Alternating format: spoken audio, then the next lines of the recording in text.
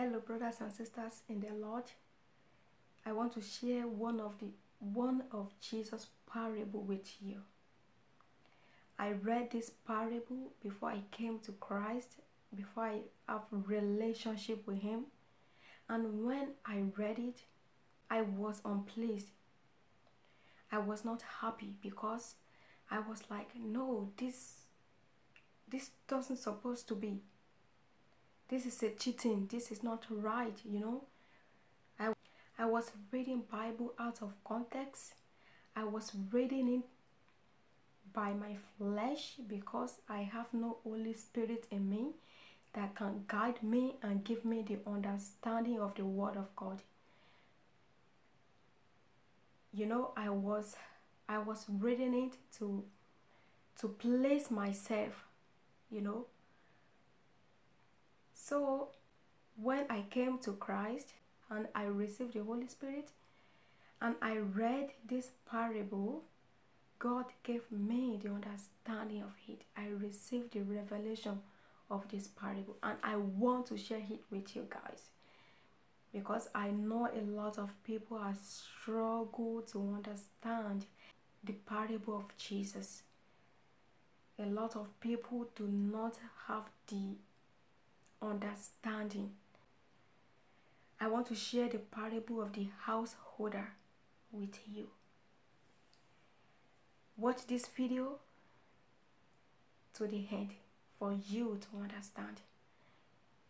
Matthew chapter 21 to 16. Jesus said, The kingdom of heaven is like to a man that is a householder, which went out early in the morning, 6 a.m., to hire a laborer into his vineyard. And when he had agreed with the laborers for a penny a day, he sent them into his vineyard. And he went out about the third hour, 9 a.m., and saw others standing idle in the marketplace, and said to them, Go you also into the vineyard, and whatsoever is right I will give you. And they went their way.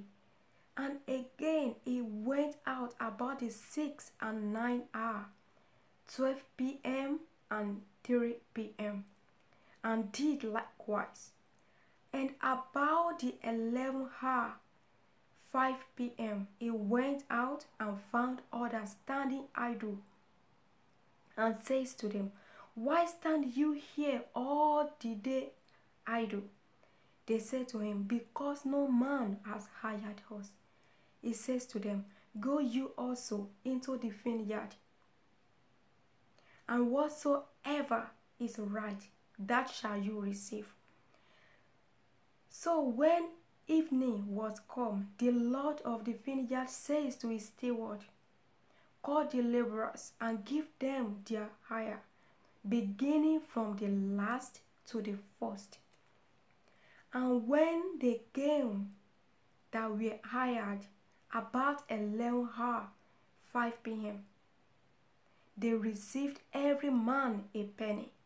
But when the first came, but when the first came, they supposed that they should have received more, and they likewise received every man a penny. And when they had received it, they murmured against the good man of the household, saying, saying, This last have wrought but one hour, and you have made them equal to us which have borne the burden and heat of the day. But he answered one of them and said, Friend, I do you no wrong. Did not you agree with me for a penny? Take that yours and go your way. I will give to this last, even as to you. Is it not lawful for me to do what I will with my own? Is your eyes evil because I am good? So the last shall be first, and the first last. For many be called, but few chosen. This is the parable of Jesus, parable of the household, of the householder. And when I read this parable, I was asking God to give me the understanding. God gave me the understanding of this parable that the householder didn't reward them by their work. But these workers, they got rewarded by their obedience. When the householder went out early in the morning at 6 a.m., he sent workers to his vineyard. He went out again at 9 a.m. and said to them, to the workers, that go you into go you to my vineyard and whatsoever is right i will give you. And when the householder said that to them they obeyed. Is what they can say to the householder no let us know the amount you are going to give us at the end of the war because we don't want trouble between you and us. Let us no, let us agree. But they didn't say that. They all went to the vineyard and work. He said to the workers at 12 p.m., 3 p.m., and 5 p.m. They all went to the vineyard and work. But the first people that went to the vineyard and work, the first workers that went at 6 a.m.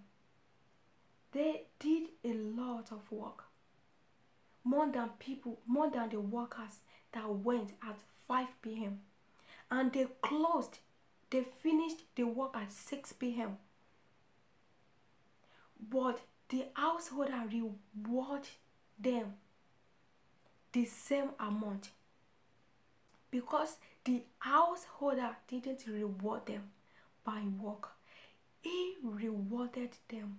He rewarded them by their obedience. And Jesus said, The kingdom of God, the kingdom of heaven is like to a man that is a householder. This is the revelation of the kingdom of God. We are not going to be rewarded by work in heaven we are going to be rewarded by our obedience, not by work. We are not saved by work, we are saved by faith. And we are not going to be saved by work. We don't work for God to go to heaven. We don't work for God to receive something from Him. We work for God because we love Him. And when we have the Holy Spirit in us, we will love God. And when we love God, we will work for Him. We work for God because we love Him. And we cannot work for God without the Holy Spirit. Because if you don't have Holy Spirit in you, how can you love God? But when you have the Spirit of God in you, you have passion for God. You love God and you want to work for Him. We are working for God because we love Him, not because, not, not to go to heaven. The workers got paid. They got paid same amount but different time. They got paid by their obedience. For if we obey God, it doesn't matter how long you have been working for God. It doesn't matter how work you have done. What matter most is obedience. We are going to be rewarded by obedience. God will not look at work. He will not re- reward us by work. He will reward us by obedience. So the last shall be first, and the first last. For many be called, but few are chosen. We all see that the first became last, and the last became first. Because because the last got same reward with the first and the first got same reward same amount with the last.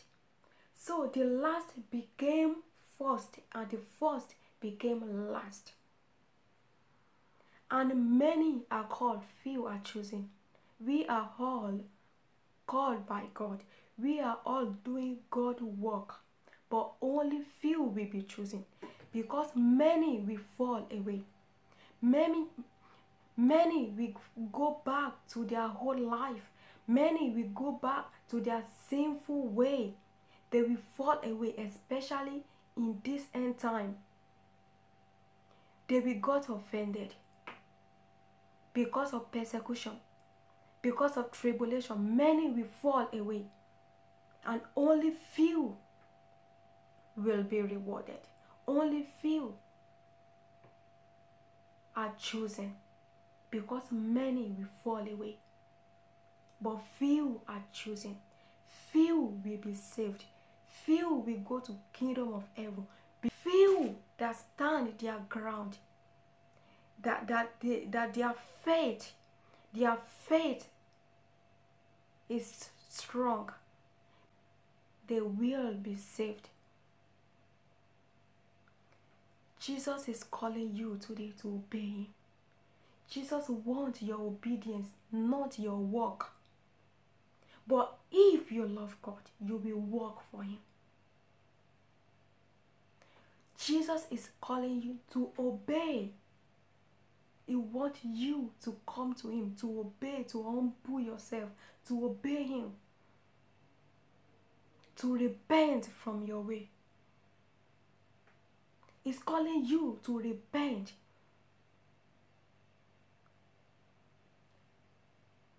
to open your heart to open your life for him to come in he wants you to be saved for we are living in the end time I hope this video help you. God bless you.